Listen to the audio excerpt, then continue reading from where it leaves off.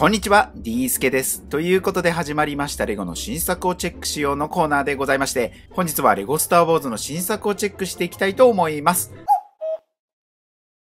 先日、ほんとつい先日になりますね、レゴスターウォーズの新作セットのリーク情報をこちらの動画でお届けしましたが、その次の日ですかね、レゴ公式から正式に発表されましたので、改めてセットの内容をチェックしていきたいと思います。ちなみに発売日に関しては5月4日はスターウォーズの日ということで、事前にリークした情報では2022年5月発売見込みになるんじゃないかってことでしたが、今回チェックする3つのセットは全て4月26日発売といういうことになりました。しかもこの3つのセットは黒い台座に映画のワンシーンをジオラマ風に表現していて、それに加え、スターウォーズとレゴのロゴと一緒に映画の名言をプリントしたパーツが取り付けられた、とても渋くて、とても素敵な大人レゴになっています。この映画の名言がプリントされたパーツが付属しているのは、こちらの同じく2022年4月発売予定のジュラシックパークのセットにも同じく採用されていて、もしかしたらもしかしたらなんですが、名作映映画、名シーン、名言という組み合わせで、このようなジオラマ風の大人レゴを2022年から連発して発売してくる可能性もありますよね。それでは今回発表されましたレゴスターウォーズの新作セットを改めて見ていきましょう。まずは75329デススタートレンチラン。パーツ数は665。価格はレゴ公式で8280円。2022年4月26日発売予定になっています。映画スターウォーズエピソード4新たなる希望で描かれたデススターでルーク・スカイウォーカーの X ウィング、それを追撃しますダース・ベイダーの対アドバンストファイターと2機のタイファイターのシーンを再現したセットになっています。デススターのデコボコしている部分の雰囲気をレゴの細かいパーツを利用してすごいよく表現していますよね。デススターといえばなんですが、こちらの砲台もしっかり付属していますし、2つの方針はこのように上下に稼働するようです。セットに付属属している X ウィングやタイファイターですが、クリアパーツを利用して空中戦の雰囲気を再現しています。疾走感があってすごくかっこいいと思います。このセットにはミニフィグは付属していないんですが、X ビングの方にはおなじみの R2D2 のプリントがある1ポッチのパーツが付いています。レゴってセットの中に予備の余りのパーツがよくありますよね。その中にもう1個この R2 のパーツがあると嬉しいですよね。そしてこちらのセットは黒い台座に映画のワンシーンをジオラマ風に再現しているセットということで、台座の部分にはレゴとスターウォーズのロゴ、そしてダース・ベイダーが言いましたあのセリフ。こちらがプリントされたパーツが付属しています。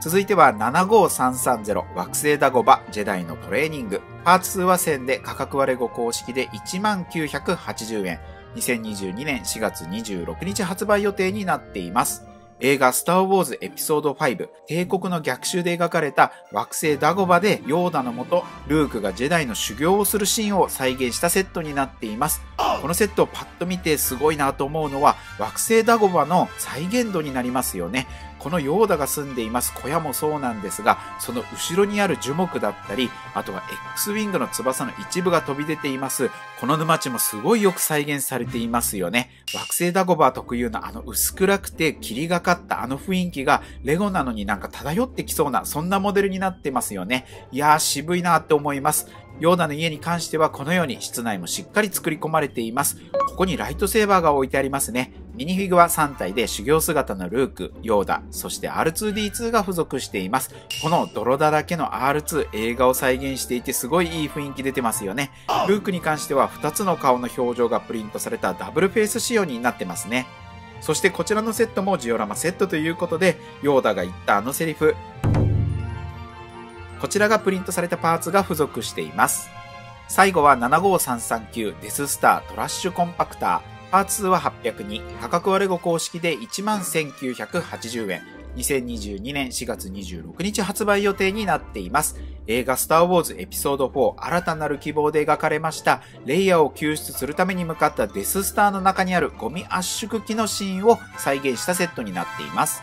そしてこのセットに関しては事前に画像がリークした時はこちらの画像だけだったのでこの映画のシーンで描かれた左右の壁が迫ってくるようなギミックが搭載されているのか、搭載されていないのかという点がすごく気になってはいたんですが、いやー来ましたね。このように左右の壁が迫ってくるギミックが見事に採用されていました。いやーよかった。これは嬉しいですよね。そしてね、これちょっと感動しちゃったんですが、このシーンってもうゴミがもう散乱しているシーンになるんですが、レゴに関しても無造作にバラバラのパーツを固定せずに配置するだけなのかなって思ってたんですが、この動画を見ると分かります通り、ちゃんとこの左右の壁を押し込んだ時に、うまくゴミが噛み合うようにパーツが固定されているモデルになってるんですよね。いやー、これすごくいいなって思います。そしてミニフィグに関しては、リーク画像が出回った時は、ルーク、レイヤー、ハンソロ、そしてチューバッカの4体が付属するんではないかって言われてて、これだけでも十分豪華だと思うんですが、なんとですね、R2D2 と C3PO もついてくることが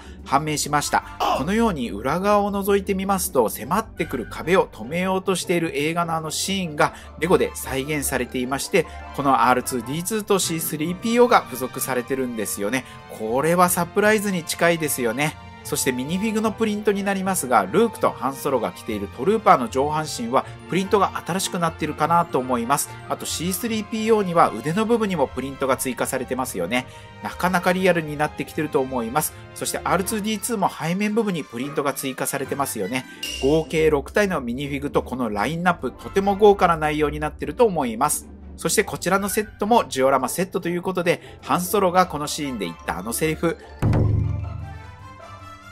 このプリントがされたパーツが付属しています。